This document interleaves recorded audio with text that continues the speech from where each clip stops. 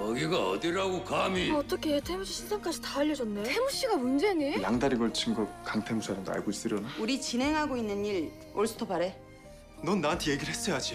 그러니까요, 어머님. 어머님 누가 보고 어머님이래 어머님은 사표 내고 떠나요.